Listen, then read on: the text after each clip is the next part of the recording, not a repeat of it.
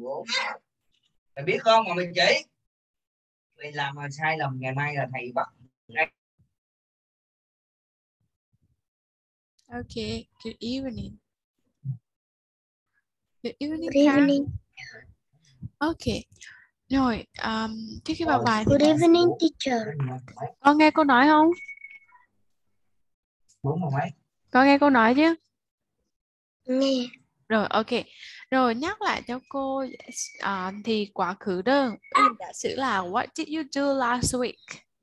What did you do last week? Thì mình sẽ trả lời như thế nào nhỉ? What did you do last week? Hmm? bốn cái hàng người ta nè bốn trừ máy giúp cho nó đàng hoàng what did you do last week? tiếp tục xuống dưới Tuần rồi mình đã học thì gì con nhỉ?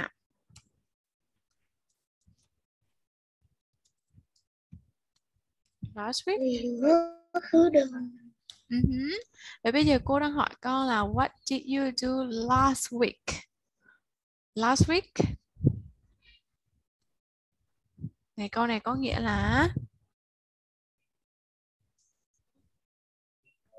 Câu này có nghĩa là gì nhỉ?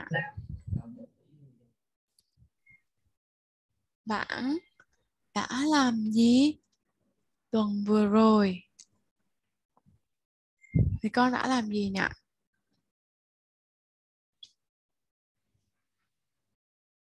Con làm gì?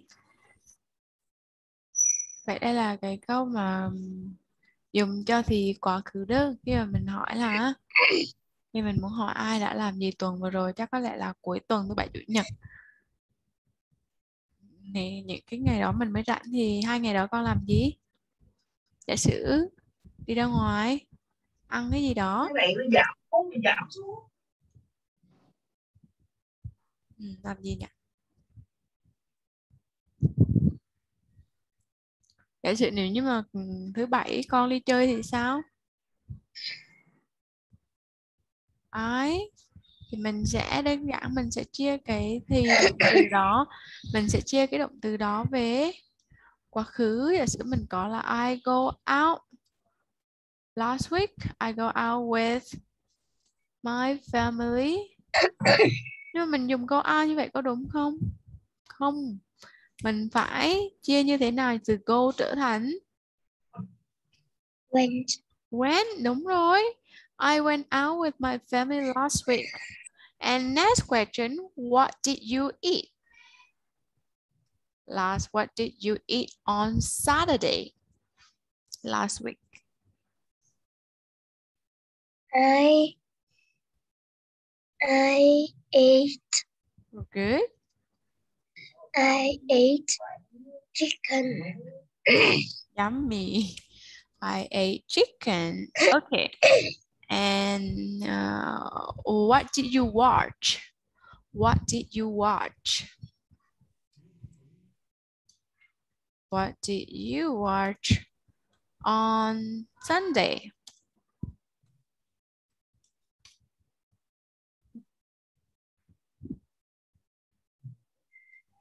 I, I, I là? I I watch. Thì đối với từ watch này thì mình lại không có từ, động từ bất quy tắc. Thì con phải thêm ed, thì I watch I watch cartoon. Ok. Thì vậy khi mà người ta hỏi mình câu quá khứ, thì mình phải luôn luôn trả lời người ta câu quá khứ. Giống như trong câu chuyện mà cô nhờ, cô cô bảo là con kể lại, nhưng mà cô để ý là con vẫn đang sử dụng thì hiện tại đơn is thì là vì câu chuyện đó đã xảy ra rồi. Thì thành ra khi mà con kể thì mình sẽ chia hết tất cả về quá khứ. Thì khi mà con sử dụng thay vì sử dụng y mình sẽ sử dụng words hoặc là word chẳng hạn như Kim Kim went out Kim went out uh, with his friend with his friend như vậy thì tất cả mọi cái động từ của mình mình phải luôn luôn trở về quá khứ. Khi mà mình sử dụng thì quá khứ đơn nha. Ok. Như vậy con có con nhớ cách mà mình để làm thế nào là phủ định không? Giả sử mà bây giờ cô muốn là uh, nói lại là ngày con không có hệ, con không có ăn chicken. Ngày thứ bảy con không hề ăn chicken mà có thể là con ăn một thứ khác thì mình nói sao nhỉ? Thì mình nói sao để mình nói là mình không có ăn nhưng mà trong cái thì hiện tại đơn của mình thì mình có don't phải không? I don't eat chicken như thế này phải không? Đó con thấy đó là mình có don't ở trong thì oh sorry. Mình có don't khi mà mình sử dụng thì hiện tại đơn. Vậy bây giờ mình sử dụng quá khứ thì mình phải làm sao? Hmm? mình có một dạng gì nhỉ? Con thấy uh, I I didn't yes. Eat I didn't chicken. eat chicken vậy cái từ từ eat cô chia như vậy đúng chưa? Hmm? có cần phải sửa lại không? Đúng chứ khang nhỉ? Đúng rồi phải không? Ok bạn nhớ cho cô là mình không bao giờ được sử dụng thì mình không bao giờ được sử dụng cái động từ mà chia khi mà mình sử dụng didn't Ờ, ok và trong câu hỏi mình cũng như vậy, mình sẽ không chia cái động từ, mình sẽ để y nó như vậy.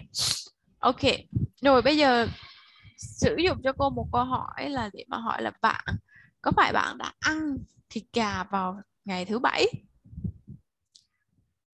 Mình phải làm sao? Mình sử dụng cái gì để hỏi nhỉ? Mình sẽ sử dụng từ đó là mình, câu phủ định mình nói mình không hề ăn chicken thì bây giờ mình sẽ đưa đưa cái từ gì lên nhỉ? Con chỉ cần đổi cái từ này này. Did you? Thì tại vì khi mà mình nói I là mình sẽ nói là về tôi thì con thì nói là, tại vì con thừa biết con là người ăn chicken vào ngày hôm đó. Thì giả sử là cái câu này là của bạn, con hỏi là bạn có ăn thịt gà vào hôm thứ bảy không? Mình sẽ có là, did you?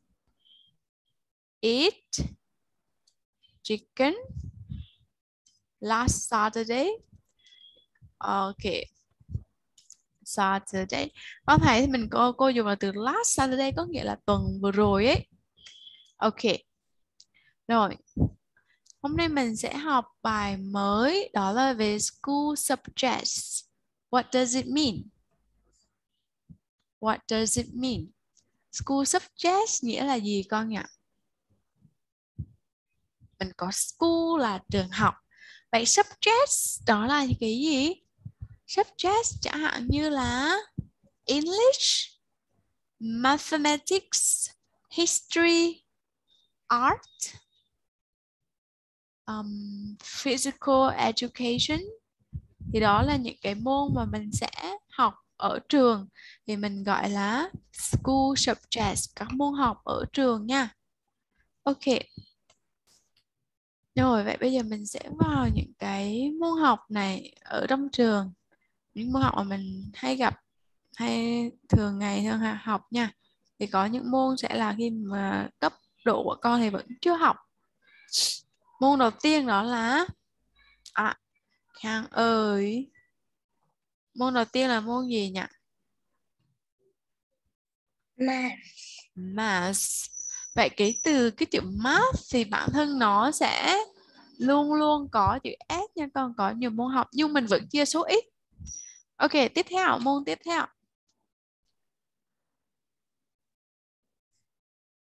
Art. Art.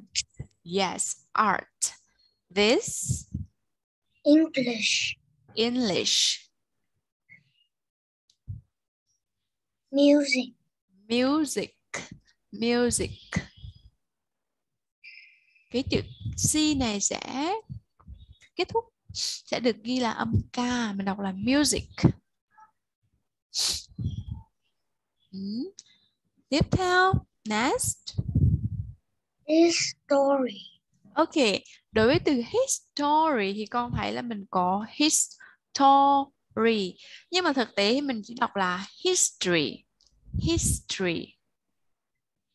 History. Con đọc theo cô nha. Repeat after me please. History. History. Yes. History. Nếu như mà con đọc history thì con sẽ không nghe được. Mình thấy là nhớ là mình chỉ đọc hai âm tiếp thôi đó là history. History one more time. Khang ơi, don't play with His- this. Hit. And next, science, science, Science. science. Can repeat after me? Okay, repeat after I say science. Science. That's right. Geography. Geography. Yes, geography. Đây là môn gì nhỉ? Geography. Đây là môn Đây là môn gì trong môn trong tiếng Việt con nhỉ? Ừ? Cái môn gì mà có quả địa cầu đây? Cái môn gì mà cho mình học về những cái mà ở nơi chốn này. History là môn Khang ơi, history là môn gì nhỉ? Ừ? Môn này là cái môn mà sẽ cho con biết được những gì đã xảy ra ở trong quá khứ, chiến tranh năm mà năm bao nhiêu năm bao nhiêu và những cái lịch sử gì nổi bật.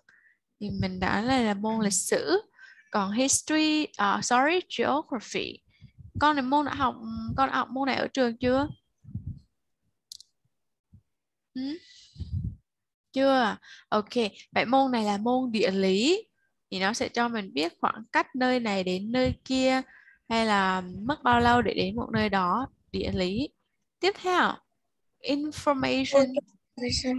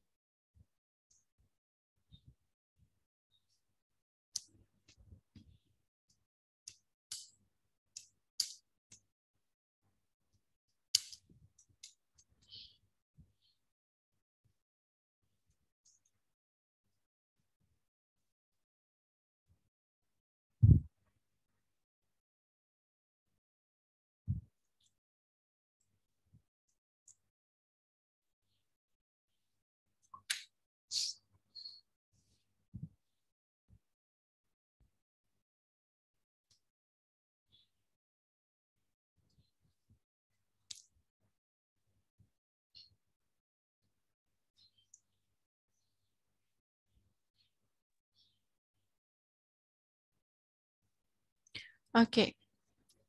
Môn tiếp theo đó là Information Technology. Information technology. Technology. Công nghệ thông tin. Môn tiếp theo là Biology. Biology. Tiếp theo nữa là Drama. Grammar. Drama. Drama là cái môn gì nhỉ? Kịch đi, diễn kịch. Môn này là gì con nhỉ? Swimming. Yes. Và mình có một môn nữa là Physical Education. Physical education. Là môn gì đây con? Physical Education là môn thể dục. Môn thể dục đôi khi sẽ còn được viết tắt là PE. Ok, còn cái môn ở bên này biology là sinh vật học. Alright. Rồi, vậy thì còn cái môn nào mà con chưa biết nữa không? Mình có môn gì nhỉ? Science. Science là môn khoa học. Ok, thì có đây, mình có khoa học, địa lý, lịch sử, thể dục, rồi sinh vật học. Sinh vật học là biology. Alright. Now, what subject do you, do you study at school? What subjects do you study at school?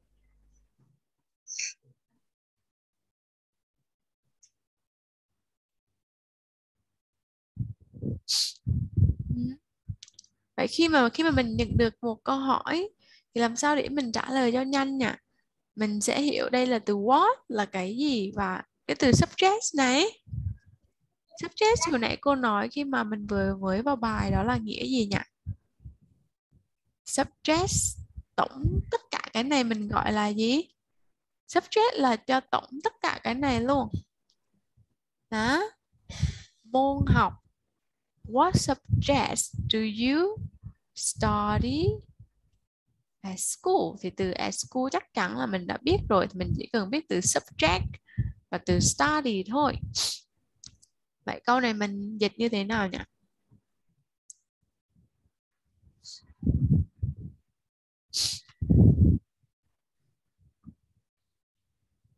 Ừ? Mình có thể dịch nôm na như thế nào? Subject là môn học nè. What subject là những môn học gì mà bạn học ở trường? Ok. Bây giờ câu này mình trả lời như thế nào nữa? I I I chắc chắn mình sẽ lấy cái từ này xuống rồi. Mình sẽ lấy từ study, I study môn học gì môn học gì mình sẽ nói ra và liệt kê ra? I study I study maths, art, art. English, English. music, and? story, science, mhm. wow. So many, math, so many subjects cái từ này con đọc lại giúp cho cô là history. History. History, đúng rồi mình không đọc history, mình không đọc là history nha. Mình đọc là history. History. Okay that's quite a number of subjects vậy khi mà mình nhận được câu hỏi thì mình sẽ cố gắng trả lời nhanh nhất. Thì nếu như mà khi mình trả lời mình là, là I study gì đó gì đó những môn học mà mình học ở trường tiếp theo what subject do you like? Hmm? one two three. I like. Khang what subjects do you like? I like. I like. Say it.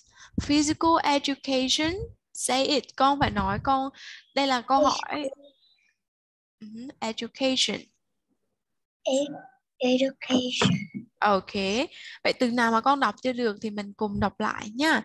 Physical education. physical education, Okay, rồi one more time. What subject do you like? Can't stop doing that. Focus on the questions. What subjects do you like? I like physical education, Okay. What subject do you dislike? I dislike art, Hmm. music, Okay. Okay, I dislike art and music. Good. Vậy khi mà mình nói từ một trở đi, khi mà con nói là I dislike art thì mình thì mình sẽ nối với chữ and music. Tôi dislike art and music vậy mình kể nhiều hơn hai cái thì mình cứ kể um, art, music uh, hay là biology bla bla bla gì đó. Và xong cái chữ cuối cùng là mình sẽ để một chữ and vào. Music là cái môn cuối cùng ấy cái thứ cuối cùng. Thì mình sẽ để and vào. Khi nào mình liệt kê nhiều hơn một thì mình sẽ để and vào nha. Tiếp theo which subject is difficult? Difficult. Subject difficult is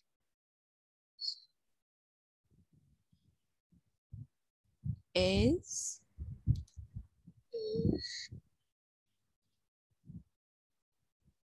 Maths. maths yes. It's really tough. All right. Rồi write a e i o or u. Okay here. Now fill in the missing letters.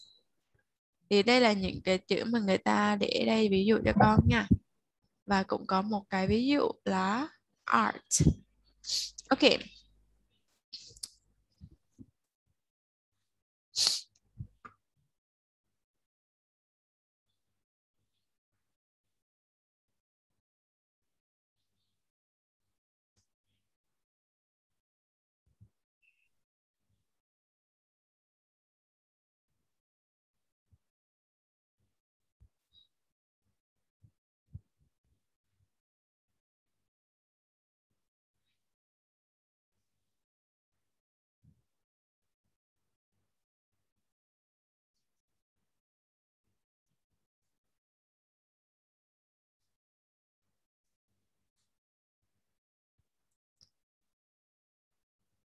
Tất cả nhiều ngôn ngữ German, French, English, Vietnamese thì gọi chung là languages.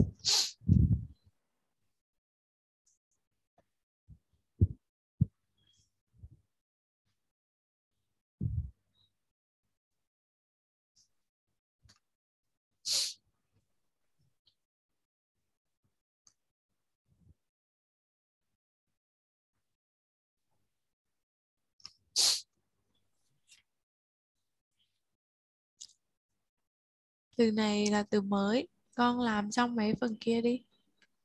Ok. Rồi, vậy thì mình sẽ kiểm tra nha. Ok, art, G O R history, sport. Ok, con nhìn cái từ này, cái từ ngôn ngữ thì mình sẽ có là language. Vì là nhiều ngôn ngữ thì người ta thêm E và S vào thành languages. Maths, music and science. Okay, Kang, can you say the word again? How do you say it? History, History. History. history, uh, That's right, history. How about this? history, geography, Geography. geography, That's right. And this? music, Music. And how about this? science, Science. science, Yes. And this one, how do you say it? languages. Good job. Okay, now let's move to the next page. Here. Now, in this, choose the correct words from A and write them on the lines, which means we have to use the vocabularies that we have learned earlier. For example, number one, teachers might tell you famous facts about the past in these lessons. What is it? Teacher tell you famous facts.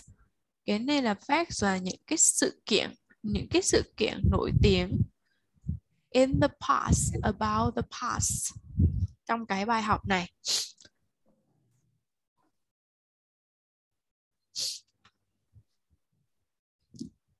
Đây là môn học gì nhỉ? Mình sẽ sử dụng những cái từ mà mình vừa mới học. Hmm. Rồi, câu này con dịch ừ, cho cô những cái từ mà con biết nè. Đây là mình có teachers, Teachers. giáo viên nè. Tiếp theo, tiếp tục. Mai là có thể ờ, có thể là tell you nói cho bạn biết những cái facts như cô nói là những cái sự kiện nổi tiếng trong quá khứ thì con nghĩ đây là môn học gì nhỉ Trang ơi tập trung vào cho cô nha. Đây là cái môn học gì mà con sẽ được kể nói về những cái sự kiện nổi tiếng ở trong quá khứ? Có thể là những cái sự History. history để xem nha. History. Fact in the lesson. Ok rồi vậy thì cô sẽ con ghi cái chữ history vào đó nha. Và xong mình sẽ đi tiếp những câu tiếp theo. Rồi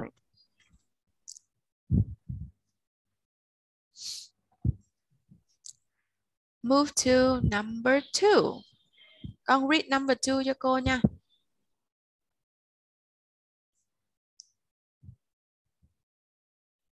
mm-hmm. Number two. Read it.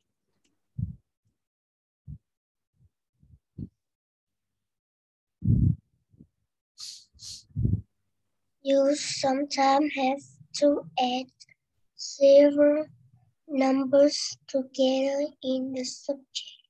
Mhm. What is it? Several numbers. Chẳng hạn như 2, 3, 4 equal 5 hay là gì đó. Mhm. Thì mình thấy number. Number thì mass. Ok. Rồi vậy thì con ghi mask vào đó. Trong lúc đó thì uh, cô sẽ xem câu number 3.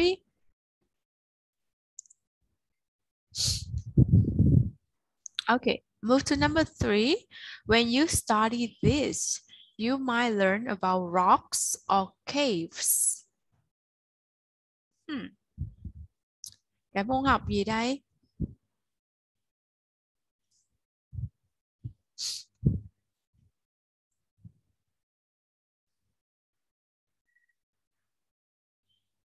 Con dịch cái môn này, à, con dịch cái câu này cho cô đi.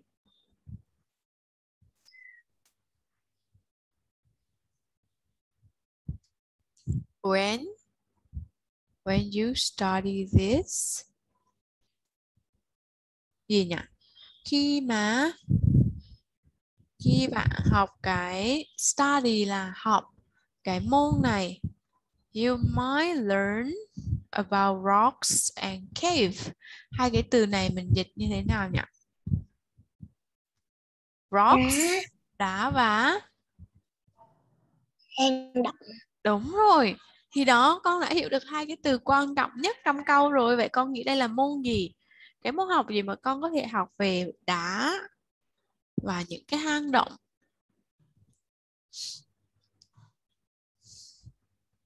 history thì mình đã học trên trên. History thì sẽ nói về những cái sự kiện nổi tiếng ở trong quá khứ.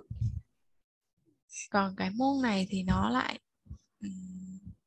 nghe thì có vẻ giống nhưng mà thật không không không giống vậy.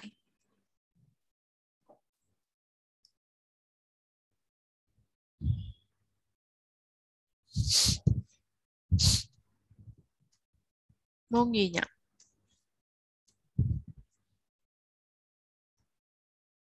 Music. Music. Music được không? No. Hay là physical education? Thể dục. Cái môn, những môn này là liên quan đến những cái mà mình cần phải tìm hiểu science thì sao con? Môn science là như thế nào? Giả sử đây là một loại thuốc. Science thì thường thường là mình sẽ đổ và trộn những cái chất hóa học vào chung với nhau để xem là nó phản ứng như thế nào. Thì môn đó không cẩn thận sẽ bị xù tóc đi chơi. Và khi đó là môn science, thì science thì chắc không có ở trong này rồi. Có thể là môn gì nhỉ? Rồi mình để câu number 3 ở đó, bây giờ mình qua number 4 Khang read number 4 cho cô nè?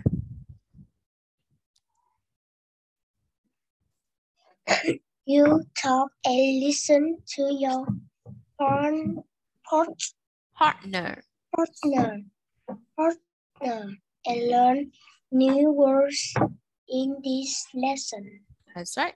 Partner thường mình hiểu là đối tác. Thì những cái người mà mình học chung hay là chơi chung thì mình gọi là partner. Cái cái bạn cái người mà học với mình ấy. Còn nếu như mà về vợ chồng thì người ta sẽ dùng là bạn đời, partner. Vì trong công việc kinh doanh thì sẽ là đối tác. Còn trong bạn học, trong học cùng với mình, chơi với mình mình sẽ gọi là bạn học nha. Rồi, đây là môn gì ta? You talk and listen to your partner and learn new words in these lessons. Vậy nếu như mà khi mình không hiểu thì con phải dịch cái câu này ra cho cô rồi. Con dịch câu này ra cho cô đi.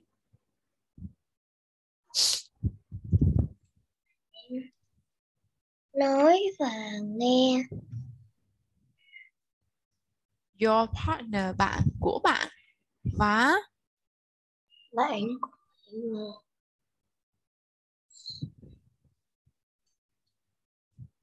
cái từ này là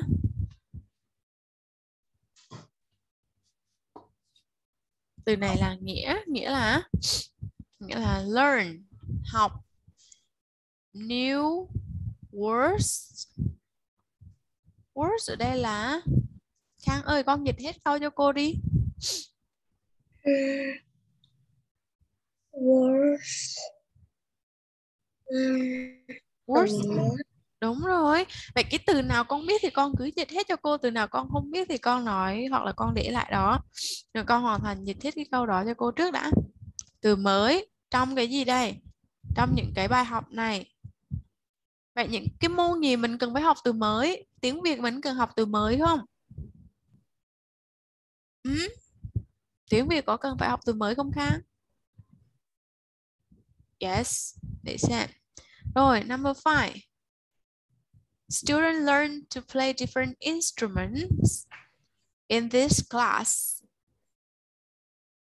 Okay. Instrument.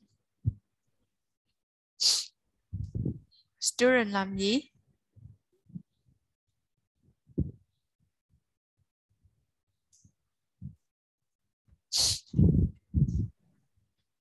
Câu nào mà con không biết là con phải dịch ra nghĩa của tiếng Việt thôi. Nếu như không thì mình sẽ không làm được. Ừ, sao con xóa hết rồi?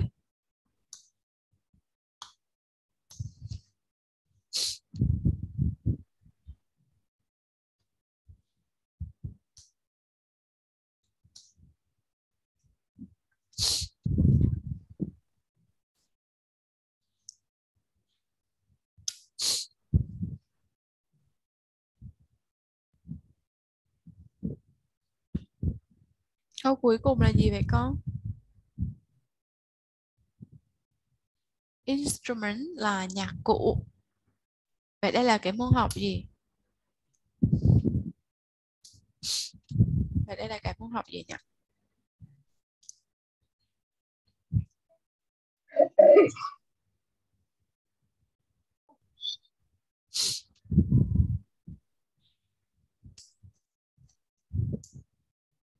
Đây là môn học gì mà cần nhạc cụ?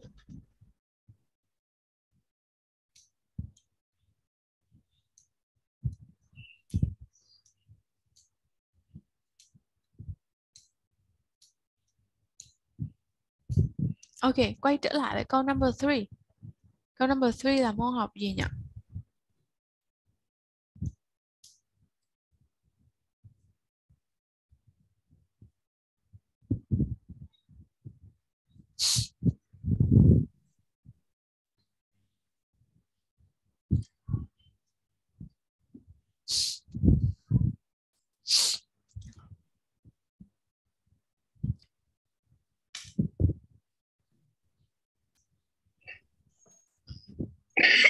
Người nguyên phỉ ở đây mình có môn gì? Mình có science những cái môn mà nhìn chung chung là về lịch sử với lại uh, địa lý môn địa lý thì sao?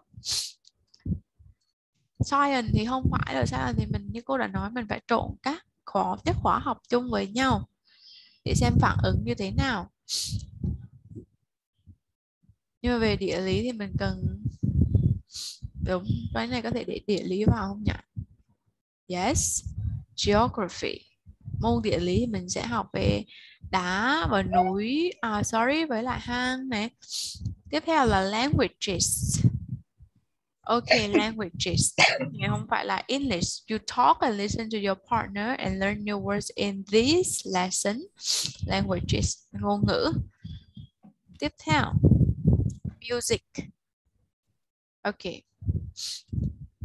Rồi, now, here.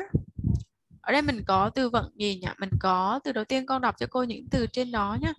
Đây này. Draw. Painting. cái từ đầu tiên là artist Artist. Paintings. Drawing. Ants. hence okay no now let's let's see number one your teacher show you how to with pencil in these lessons. Thì mình sẽ sử dụng những cái từ trên đó để điền vào những cái khoảng trống này. Ở đây, your teacher shows you how to với cái gì nhỉ? Bằng pencils. Thì cái môn học này mình cần pencil thôi. Mình sẽ không được sử dụng pen.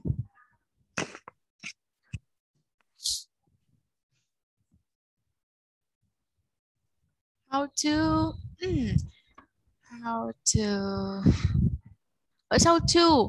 Con nhớ cho cô ở sau to là con cần một cái động từ một cái động từ nguyên mẫu luôn. Không có thêm s cũng không có verb in luôn. Còn những cái trường hợp mà có thì những trường hợp đó mình bắt buộc phải nhớ.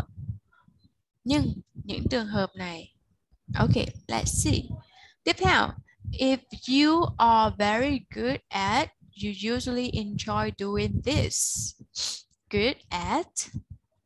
Sau good at thì mình cần nói gì nhỉ? Good at là giỏi hay là tốt? Nói chung là làm tốt về một cái gì đó. Sau good at? Sau giới từ, thường thường sau giới từ thì mình sẽ sử dụng động từ thêm verb in. Nhưng mà cái, đối với cái cụm good at này thì luôn luôn đi với cái động từ thêm verb in thì đó là động từ nào? Ừ? thì đó là những động từ nào? Mình chỉ có hai lựa chọn Khang ơi mình chỉ có hai lựa chọn đó là paintings and drawing. Chỉ có hai lựa chọn này thôi. Painting. nhưng mà painting có s mà. Thì con tỉ với cô painting có s Drawing. yes tại vì painting có s này thì nó không phải là động từ nữa nó là một cái danh từ có thể là nói về những bức tranh ok Ừm, tiếp theo number three you read number three Mẹ xuống nói giùm con cái băng keo cá nhân.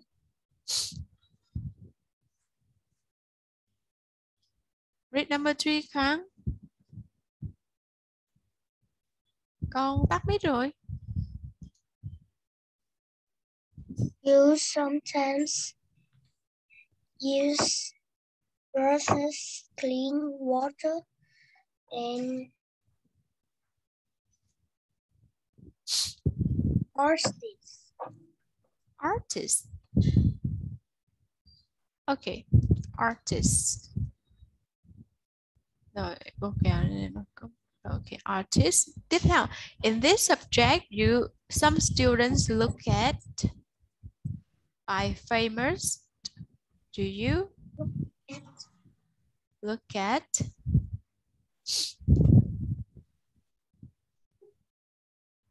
Painting.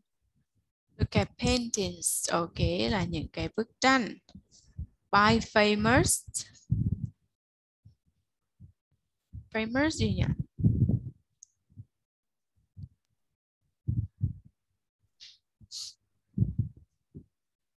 My famous pens, um, ừ. pens ở đây là có lẽ là màu rồi. Paint ở đây là màu. By famous. Ở đây mình cần phải tìm một cái người. Một cái người ấy. Một cái người mà thực hiện. khi con nhìn những cái bức tranh. Look at student, look at paintings. Và by famous được được được làm gì nhỉ? Mà được vẽ bởi những cái người. Người vẽ người vẽ tranh thì mình gọi là gì nhỉ? Con tắt con mở mic lên đi. Con lại tắt mic? Những người vẽ tranh mình gọi là gì? Ở đây con có hai từ bị nhầm. Đó là ở cái đoạn này con con điền yes là nghệ sĩ là những cái nghệ sĩ. Đây vậy còn cái bên này thì mình để làm sao? Mình điền vào là em paints paints ở đây là cái, và màu ấy. Brushes you sometimes use brushes? Là những cái cây mà cây cọ hoặc là clean water, nước sạch và màu. Rồi bây giờ mình kiểm tra nha. Draw, drawing, good at paints and paintings artists okay rồi. Khang có biết câu điều kiện loại không? Không, con bị gì hả? Con có muốn làm gì không? Con có bị, ý là con có bị gì? Có cần đi xử lý một tí không? Không ạ, cô tưởng là con bị đứt tay lại này cô nghe con nói là cần cái băng cá nhân. Ok, Khang biết câu điều kiện loại không là gì không nhỉ?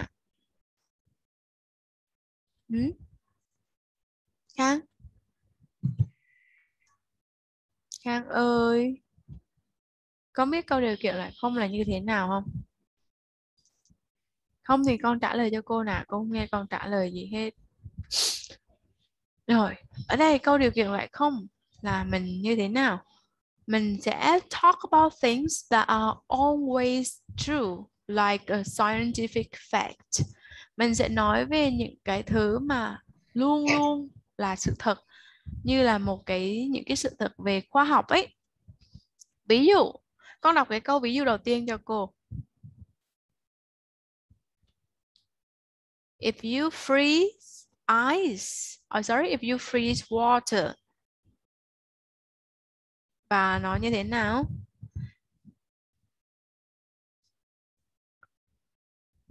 Hmm? It turns to into ice. Câu này nghĩa là nếu mà bạn đông nước, ý là bạn bỏ nước vào ngăn đông ấy, làm đông nước đó, thì nước sẽ như thế nào? Nước sẽ trở thành gì con? Đá. Đúng rồi, vậy con thấy cái này có thật không? Cái này sự thật nó không bao giờ thay đổi luôn, nó phải nói là 100% là chính xác.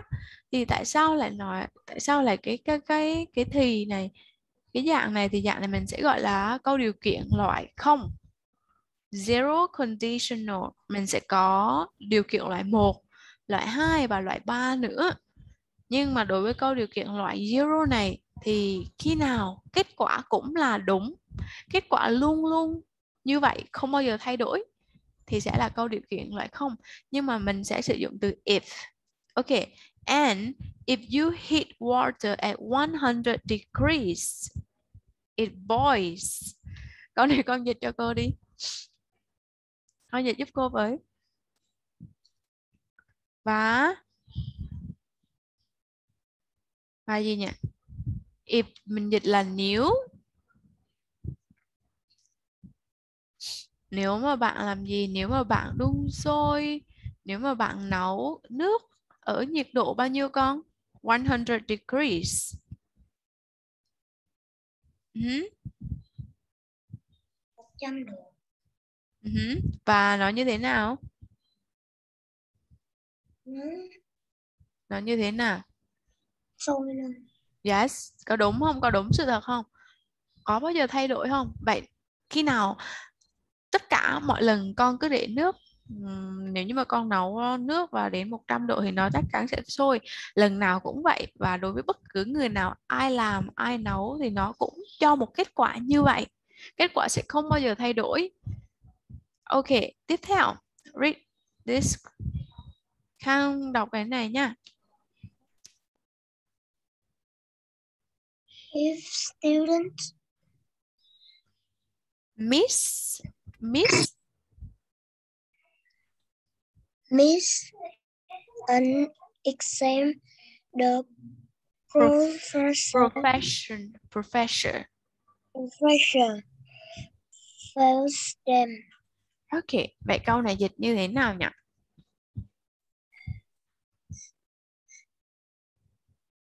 giả sử khi mà con đi học mà con không đi tham dự ờ, cái cuộc thi cuối kỳ thì con có đậu không con có được qua lên lớp không ừ? đương nhiên rồi, sẽ không được lên lớp thì trong câu này cái chữ chữ miss này còn, chữ miss này theo những cái nghĩa mà con hay sử dụng là nghĩa gì nhỉ ừ? Ha? Cái nghĩa mà mình hay sử dụng nhất, mình hay biết đến, được biết đến nhiều nhất đó là Hàng ơi. Giờ với trong từ mà I miss my friend. I miss my friend thì ở trong này nghĩa của cô đang sử dụng là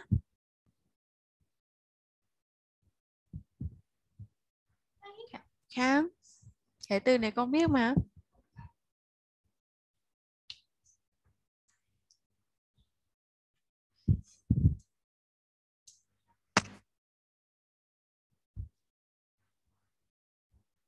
I miss my friend.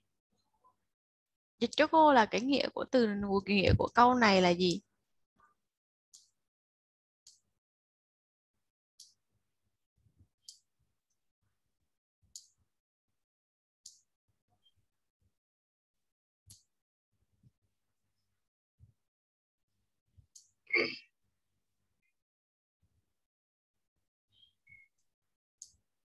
Hmm?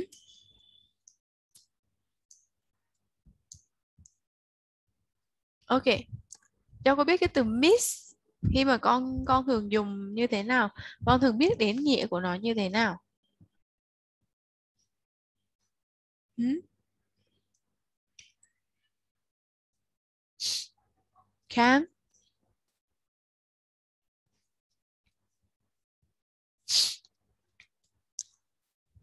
Con có biết không?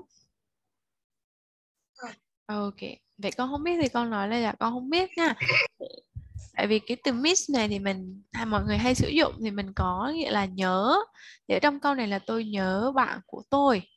Nhưng mà đối với câu if student miss an exam thì ở đây mình còn có chuyện cái là bỏ lỡ và mình có thể dùng trong cái từ mà miss the bus, I miss the bus.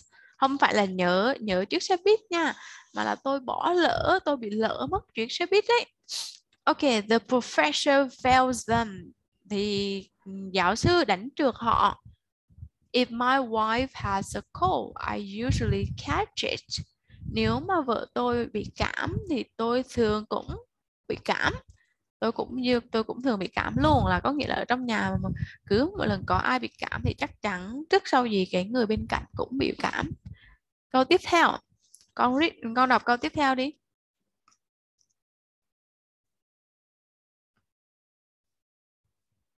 It's my Ừ, with Wife, has a cold. I usually catch it. Ok, rồi câu tiếp theo nữa.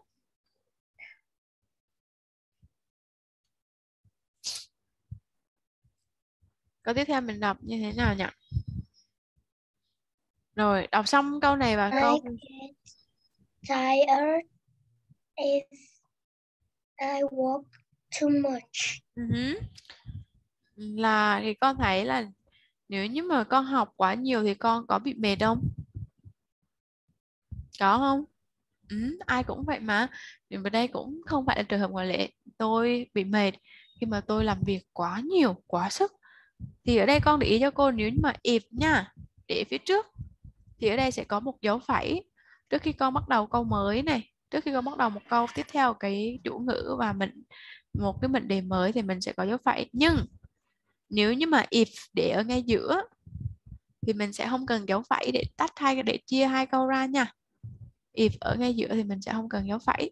Ok, rồi hôm nay mình học đến đây thôi. Hôm sau mình lại học cái này tiếp thì cô sẽ gửi cho con cái bài tập về thì này và những cái từ vựng hôm nay mình đã học.